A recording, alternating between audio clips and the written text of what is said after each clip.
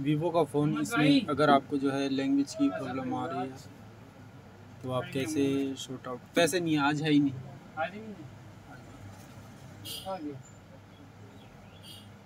तो ये कैसे आप शॉर्ट आउट करेंगे?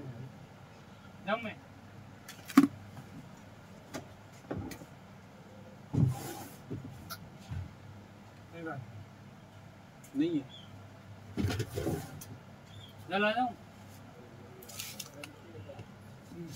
तो कैसे आप जो है लैंग्वेज की प्रॉब्लम को शॉर्ट आउट करेंगे? तो चलते हैं, हम फ़ोन की सेटिंग के अंदर आपको बस स्टेप फॉलो करना है। सेटिंग के अंदर आ गए।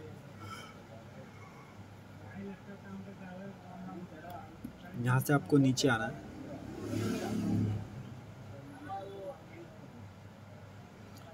सबसे नीचे आ जाना, जो सबसे लास्ट ऑप्शन होगा ना आपका, इसके ऊपर वाला, सबसे लास्ट के नीचे ऊपर वाला। ये देखो सबसे नीचे आ गया मैं, इसके ऊपर वाला इस पर टच कर देना आप। बस उस पर टच करना है आपको, ठीक है? फिर उसके बाद ऊपर से काउंट करना है आपको वन टू थ्री फोर ये गोल सा सर्कल होगा उस पर आपको इस वाले ऑप्शन पे टच करना है, गोल से सर्कल वाले ऑप्शन पे। तो आप इस पर टच करेंगे तो ये ऑप्शन आ जाएगा।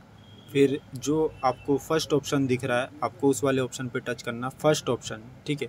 आपको इस पर टच कर देना अगर यहाँ पे वन और टू में अगर आपको लैंग्वेज शो हो रही है, मैं बता देता हूँ, जैसे मैंने अभी यहाँ से एक लैंग्वेज ले ली। अगर ऐसे लैंग्वेज शो हो रही है तो जो लैंग्वेज आपकी फ़र्स्ट पे होती है, वही लैंग्वेज सिस्टम जो है रीड करता है। तो हम इसको ऐसे प्रेस करके ऊपर ले जाएँगे ना ड्रैग करके तो ये देखो अभी लैंग्वेज चेंज हो जाएगी। देखो लैंग्वेज चेंज हो गई, ठीक है? अब फिर से हम इसको फ़र्स्ट पे ले जाएँगे।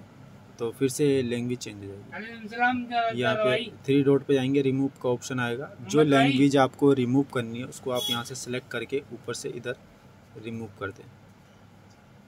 तो गाइस इस तरह से आपके फ़ोन की जो लैंग्वेज है वो चेंज हो जाएगी। अगर वीडियो अच्छी लगे तो प्लीज़ चैनल को ज़रूर सब्सक्राइब करना। Thanks for watching